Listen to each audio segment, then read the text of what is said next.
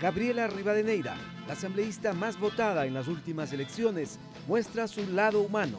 El tema de, bailar, el Inti Raimi, es despertar la tierra para poder ser fecunda. Hace un repaso de su trayectoria política. Eh, yo empecé a militar políticamente desde los 16. La desvinculación de Pachacuti para nosotros significó un reto político. Reivindica el cambio generacional en la política. No demostrar que las mujeres podemos tomar decisiones, que los jóvenes podemos ser parte de las transformaciones. Explica cuáles deberían ser las prioridades del próximo periodo legislativo.